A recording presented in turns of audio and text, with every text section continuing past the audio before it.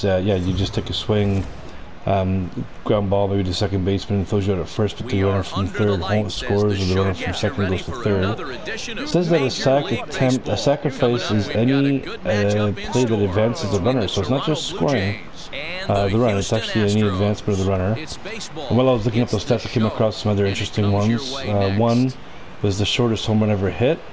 Uh, I think it was 1900. Uh, it was a player that hit the ball uh, in a big rainstorm. Ball went, he hit it really hard, but the ball went 24 inches. It uh, actually got wedged into a big pack of mud and water, uh, basically right in front of the plate, and nobody in the field saw where it went. Only the hitter did.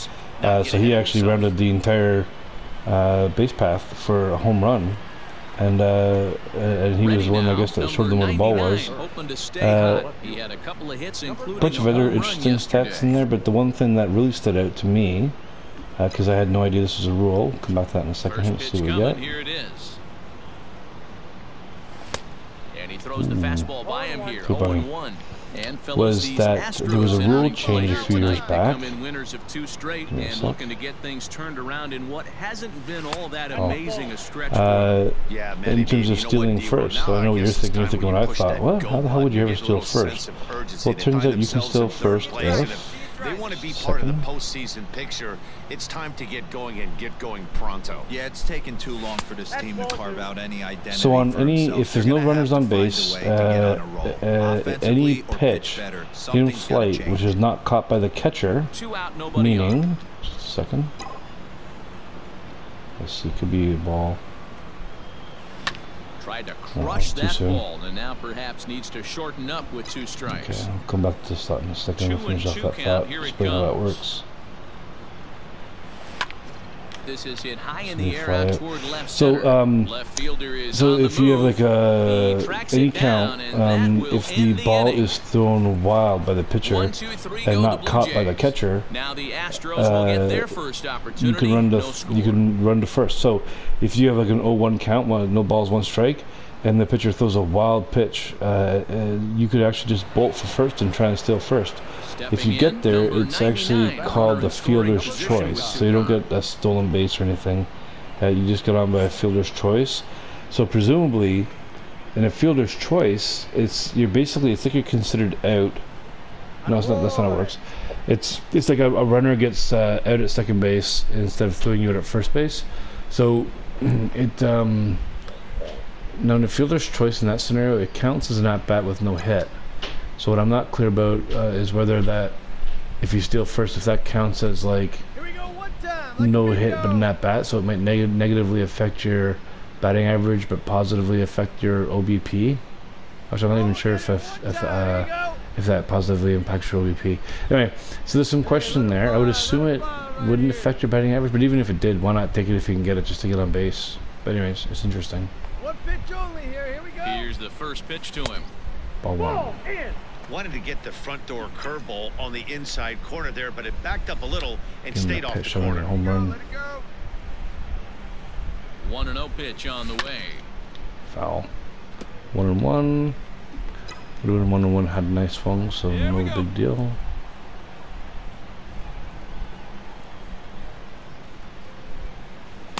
Uh, well behind that fastball, it's a swinging strike.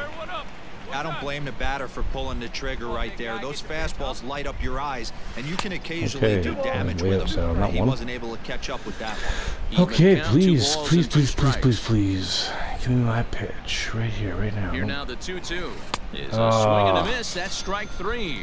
I knew it was going out, but I just couldn't resist. I just could not resist. Sliding into the box, number nice struck out so hard last time. I disappointed them, even though they're the Houston fans. They want to see me hit home runs. Why else would you go to the ballpark? You just want to see home runs. There's a breaking ball that couldn't quite catch the close. inside. Close, close, close.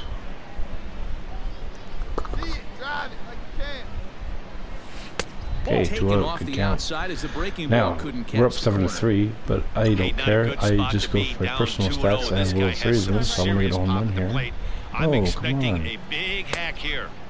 You know, are they going to walk me? If they met on first, that's kind of unusual. Well, you know, I'm definitely not swinging unless it's right down the heart of the plate. he will There we take go. ball Walk. four. Mm. First and second now with Surprised nobody to walk me. I mean, Vladdy's And now time uh, on a cold streak, but see the pitching coach you making know, he's certainly out to the capable of to pay a some home visit. runs.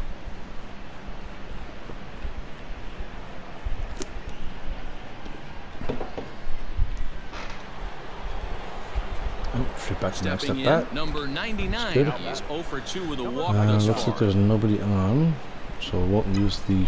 Now the payoff pitch home. Oh, they did, too. Son of a gun. Him ball four. This is the best I've ever done for walks. If somebody walks this season here, my OBP is going to be uh, really, really good. on a one for two games so far. Here's a look over to first and a dive, but he's back in. Okay, try this again. And another Nope. throw over. And he has to dive, but he's back in easily. Don't worry, guy. I'm not going to steal. I'm not fast enough. Yet another check on first. And a Okay. dive, but he's Mm. back in there. Have to forego the lead or the extra step and just go for a lean. Looks like I'm trying to move it From there. the stretch. Runners off for second. Pitch outside. The throw. Okay, good stuff. Well behind the play. That's an easy Good stolen stuff. base. Well, they threw over there multiple times thinking he was going to try to swipe that bag, so they were onto him, but he just waited it out and took off when he had the chance. Nice job of base running there. Uh, the only reason now they got, I'm just listening to the announcers. I'm pretty sure you can hear them. 1-0. Uh, I'm pretty sure the only reason on that that swing is it's well wide of first. I made that uh, stolen base wasn't so much that Ready with another 2-2. And he's getting his money's worth up So there runner on second, full only one out, so good chance here to score on a single. making him work quite a bit out there. Both have been long at bats, and all in all, he's had to make 13 throws just to them so far. 3-2 pitch. Is a swing and a miss. That's strike three. Oh crap! Vladdy, what There's are you nothing doing? better from a pitcher standpoint than watching that high Okay, fastball, Tellez. a high piece of oh, cheese. Oh, it wasn't that long ago in a situation That like this, he hit a looked so home run, so- hit, but Good How lead dare there they at steal second. that? Here's the pitch. But this will Uh, find oh, the line drive shortstop's to the shortstop. for the third out of the inning. Oh, well. So it's no runs, no base hits. Wouldn't no matter if I tried to steal third anyways, but still, on. Too risky bottom play. the sixth inning. It's the Blue Jays seven and the Astros Here's, um, three. Fence in ba- mo- uh, baseball today is in uh, Boston, 308 feet to with right field, which is walks this surprising. I, I've always thought of the right field that there's actually being long. Um, but I guess that's just because the left field. Second. Here's the first pitch to him. There's obviously the Green Monster, which is uh, short, but obviously not 308 feet short, I guess. miss on that And then it's got the pitch. That's not the gigantically tall wall, wants to live in against Which I always thought was. Nice thing up there. Into I thought the reason field, that the, the wall was short was because the left field was incredibly short. And that runner But it's not, because it's actually longer than the right field, which is there 208 feet. So it means it's uh, at least doubled up on the 209 feet to right left. Um, but I mean, the reason, him. Second one, uh, the other reason, which is the main reason that the was able Green to get Monster is so tall, which I knew is because there's a street that runs right along the left field line. And so the, the height of the wall is to protect uh, cars Well, uh, from balls right that are, would be otherwise just one flying right into the street easily from uh, even moderately hit home runs. 6, the final score Uh, and then game. obviously Toronto Boston's got the 10 runs on well, just the the most unique. Tyler baseball Beatty footprint in baseball because so so you relief get the shortest right field, seventh the uh, probably the Cy shortest left field in baseball, um, and then runs to come but the center field is gigantic. I think it's like 420 or 425 to center, and then the center field has got this kind of an earn a angular cut his first of the where part of the fence So runs a wrap here tonight. um, For a 90 Carlos degree angle back in, Heidi Watney. This uh, at least 10 10 to 15 MLB feet. Show. For more, find Uh, so there's lots of weird little at hits that can happen out there in that center field. Like I've seen more triples at the center field that uh, Boston than most any other center field because there's just so many weird things that can happen out there, which of course makes it the coolest uh, stadium. Th- Than the fact that it's old and historic.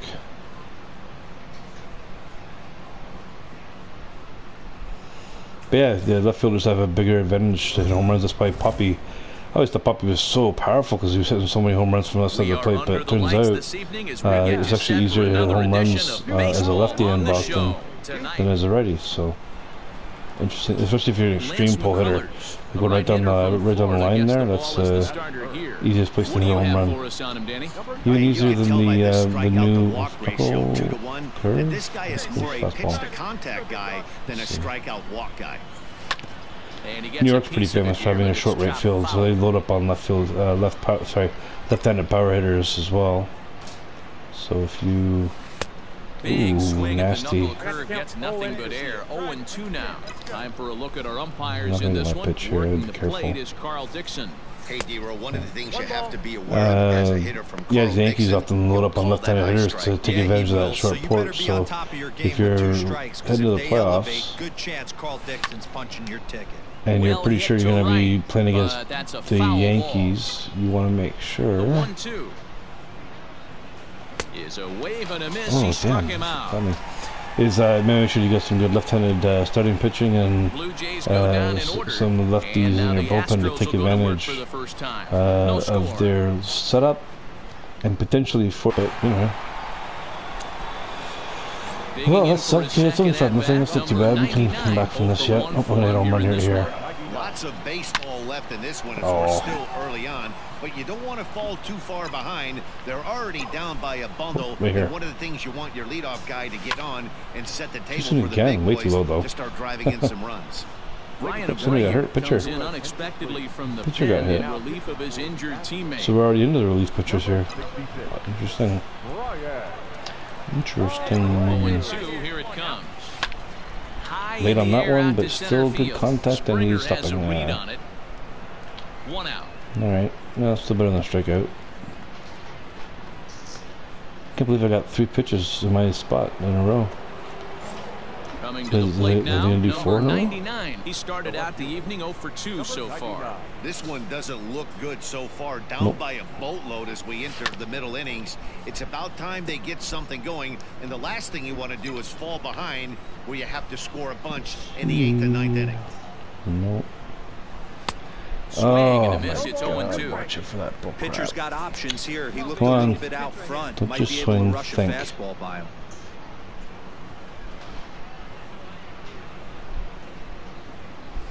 And he misses there. Here. 1 and 2. Paying attention now, that spark so- plug guy, and this is the guy right here. He usually ignites a lot of productive innings. Here's the 1 and 2 delivery. Fastball call, Ah, strike crap. I thought it three, was and there's the first out That's of the all those low pitches clear that like uh, that looked high, but uh, clearly a strike. Now Good pitch. plate, Good pitch 99, sequence. 0 for 3 with a couple of strikeouts for him to this point in the ball game. It pretty much just the way they do it in the promising so majors, too. They one as we move throw a lot of later uh, low pitches, by a bundle, and then when they get to to get the some ooh low base attendance tonight, and and then when they get to that to get them strikeout count, they uh, all of a sudden throw high. Uh, they've got your eye level off, um, and you're not ready for it, and that's exactly what happened to me, and it worked, and that was fooled him there disgusting. he's way out in front. I love the fact that this batter continues to be aggressive, but after striking out twice already, maybe he's got to take a step back, see the ball Ah, a little damn. bit deeper, and be willing to work deep into the count. Looks like a, uh, I was thinking it was a slider going out again, but I don't know. No, not The the one that I 1-2. want. Is swung on and Oh, missed come strike three. off of it. There's even a contact It's swing, a so I can just try and at the yard ground for it off after uh, after a home run giving up a very This one similar hit to the its same spot. drama and excitement. In the end, these guys came away with the victory. Oh for four, look on disgusting. next We one. wanted if that never to one, the final score in tonight's. This is game three. I'm pretty sure we split the first two, so hopefully we can win the rubber match here. Daytime baseball here on MLB Network. Today it's the finale of this four Only game six games out of 500 now, so still climbing out of that hole. Zack Greinke is on the mound for Houston in God, this Zack one. Greinke, yeah, What's your take pitcher. on him, Dan? Well, Matt, you hate to go into so game thinking that you're going to have around to get third, the bullpen involved, but two out, you may and have gotta to get with a this guy on the mound. He's not known for going very deep in the games. Very rarely does he go six innings or more. So this very well could be one of those Johnny Wholestaff days. Fellas, taking a look at these Astros entering play here this afternoon. They come in on the heels of a victory last time out, Smirky but they've been in a bad stretch They're recently, well- losing five of their last eight Oh, ball God, I games. think it happened. Yeah, man, nothing they'd like to do more than to salvage this one, D-roll. After this, Got him looking, and that'll do it. The inning is over. You throw two pitches out of the zone, you expect that, that they're never going to throw you another Astros pitch in the zone, get not their at bat. first up. Why would. Coach In not to suck this time, Hendricks. 99. Come on. He's 0 for 1 thus far. Yanked on the ground down the line. That's and a that fair ball. through for a one-out base So not going to make it. Boy, D-roll, it's So weird time they outfield got out there. I mean, that, uh, pitch single, and foul ball zone. now they can start to That get some traffic on the Side of the bases. fence runs out so fast that it just angles always the play. any ball that hits that out- pitch bounces count off that up comes straight back that out to the bullpen, outfielder. Sometimes desperate times call for Yeah, perfect. measures. The batter. See if we can get this bag. First things first, here's a throw over. And he'll dive back Okay. in See safely. if they do it again. If I do it one more time, I'll just do a, Come on, big dog. a lean with the lead. Rowdy Tellez the next to bat. So the Strike catcher's taken move, to just like to throw. go, and I'm in good. Not going to get him as he swipes second. That's I'll check out my speed numbers after this. My speed right? number, I've got a lot of stolen bases now. My speed numbers, you would twice in a row, hope, so I think he uh, have jumped significantly. I would assume that worked stealing bases would have a each one of those stolen bases would have a pretty significant impact to your speed. Especially when your speed rating is low like mine is. And he'll dive back in. One run, two hits, and no errors in the Yeah, game just for take it here. I don't care. And it's one and one. Is this, is this Vladdy at bat? Or is Tellez? He's been hitting well lately. Count is one and Foul two now. Not surprised he's laid on a heater right there. Just saw an off-speed pitch. Really hoping he can get a single. a Oop. bit too long. Now a look and a throw back to second. Damn, that was close. Safely. Um, One out and a runner on second really base. hoping here that uh, Tellez gets at least a single or potentially even a home run. Line Oh, drive to left, uh, it's gonna but cut. pretty much right at the left fielder as he takes it in for the second out. All right, so that was he messed up. Oh, At the Bichette's back. All right, Bichette. The bat, number 11. all right. This is my favorite Blue Jay right now. He's just the most exciting player on the team in every way around. He's ready. Here's the In real life, it offering. is.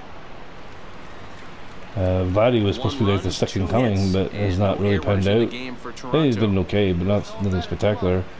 Um, off. you know, in the minors, he was like that guy that was sitting like he got a piece 350-ish right with there. He was tons of home runs and RBIs, and coming up to the big, so far. He's been about a. And 250-ish it's fouled away. hitter with a you know okay home run numbers and you know nothing to nothing to write home but RBI numbers. But Bichette has been uh, just an absolute Another spark plug. the, the, the very heartbeat of the team uh, with all the exciting plays, fantastic shortstop, just completely overshadowing Vladdy. And then you've also got in the mix uh, Cavan Biggio, our second baseman, who's doesn't have doesn't sport the best batting average, but is a great like uh, hits a. It's, it seems like he right. seems like he's constantly hitting doubles and home runs, and he's usually hitting them right when the team needs them. So it seems to me that he's a, a big clutch hitter and comes through with doubles and home runs in, in a lot of clutch situations. down to third. So I've really, really enjoyed watching him play as well. Throw over to Aguilar at And then obviously He'll take care the the funny thing is that all three of them have one thing, well, at least one thing in common, that they've all got major So league coming to the fathers that plate, number 99, fantastic players. I mean, Vlad- the is gonna is I don't know if he's in the Hall of Fame yet, but Vlad, Vladimir Guerrero's got to be a Hall, Hall of Famer. Uh, Cavan Biggio is the son of uh, Craig Here's Biggio. first pitch now from Greinke. who might not be a Hall of Fame player, but was a really great Houston Astro forever. Thank you for joining us here this afternoon. And we remind